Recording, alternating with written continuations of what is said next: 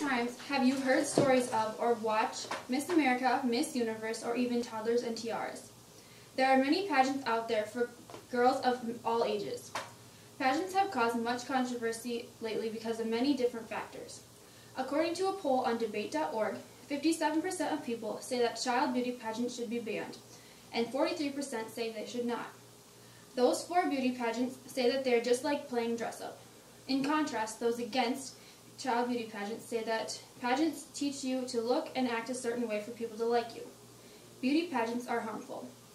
The four main points I will talk about today are 1. Beauty pageants can conflict with values. 2. Beauty pageants can bring emotional problems.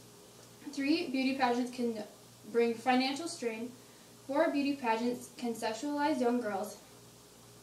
I have said the four topics that we will discuss in this presentation. First, we will talk about how beauty pageants can conflict with values. According to a 2012 article on Good Therapy, a website for therapists, children in beauty pageants learn a lot of unhealthy values. Some of these include the desire to defeat the competition at all costs, tantrums, meltdowns, and unrealistic perceptions of beauty. Values of ac academics, empathy, social skills, athletics, and other age-appropriate activities don't show in these pageants. Also because only a few grow up to be a model or a similar entertainer, these pageants harm their development by focusing their attention on something they will probably never do again as an adult. According to a 2013 article posted on the Global Post website, parents of beauty pageant participants have to tell their children that pageants are a fantasy. If they aren't told this, they tend to develop their appearance more than their personality and values. After competing in pageants, Children can be persuaded into thinking that they should concentrate on external beauty rather than developing their internal beauty and knowledge. My first main point shows that beauty pageants can conflict with the values of girls and wrongly teach them that appearances mean more than anything else. Beauty pageants can conflict with values. These conflicting values lead to my second main point, which is the emotional problems that pageants contribute to. According to the Good Therapy website for therapists, pageants imply that appearance is important, which gives young girls distorted emotional values. The attention given to appearance can lead to body image distortion and low self-esteem. Pageants encourage contestants to quickly diet to fit into smaller costumes or swimsuits. These crash diets include sugary foods, which can lead to long and short-term eating disorders. According to a 2013 article on the Global Post website, Children who compete in pageants base their self-worth on looks, and if their appearance doesn't keep up as they age, their feeling of self-worth plummets. When kids put all, all of their focus and effort into their looks, they may be prone to emotional problems. Today, it's common for teens that used to be in pageants to develop things such as eating disorders and body image problems. In summary, pageants can lead to many different physical and emotional problems because their worth is based on appearances. Beauty pageants can bring emotional problems. Along with emotional problems, pageants can lead to financial strain, which is my third main point. According to a 2012 article written in the Journal of American Academic American Academy of Child and Adolescent Psychiatry by Martina Cartwright, pageants can cost a lot of money, but there's a reward for the best contestant in the end. Entry fees for these pageants are usually between 50 and $500 required photos, DVDs, and talent competitions add a few hundred more dollars. The largest expense is clothing, and one dress can cost more than $1,500. Many extra expenses come from the makeup, hair, spray tans, fake teeth, and nails that help the girls win. When estimating the cost of participating in one pageant, the total comes to $3,000 to $5,000. Prizes for top, win top winners vary from a few hundred to a few thousand dollars, but the chances of winning are very slim. Other prizes include crowns, trips, movie parts, and even puppies.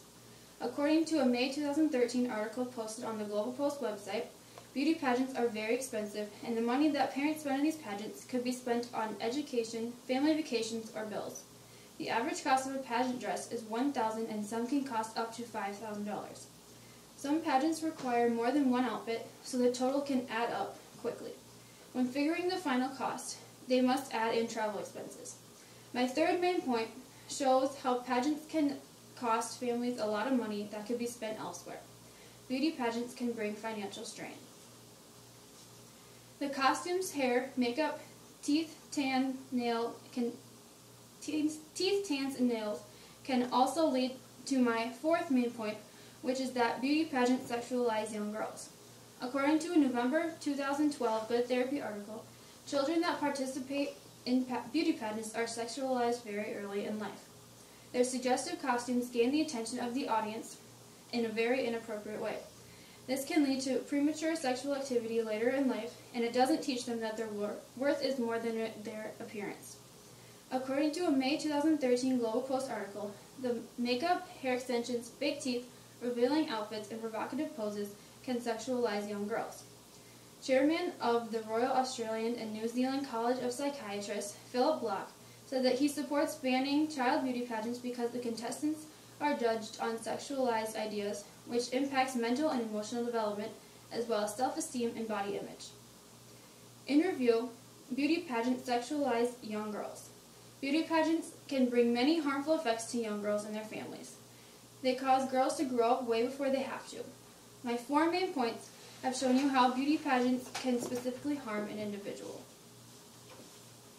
In the JAA CAP, Martina Cartwright observed a day in the life of a child beauty pageant.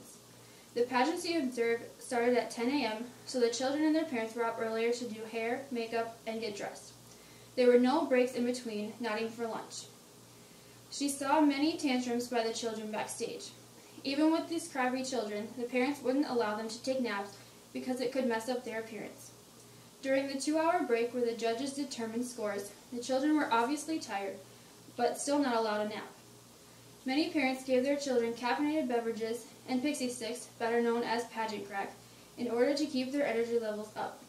We should discourage these types of behaviors and judgments by banning beauty pageants that base their decisions on winners by, appear by appearance. Beauty pageants are harmful. To recap, my four main, four main points are 1. Beauty pageants can conflict with values. 2. Beauty pageants can bring emotional problems. 3. Beauty pageants can bring financial strain. And 4. Beauty pageants can sexualize young girls. Thank you for listening.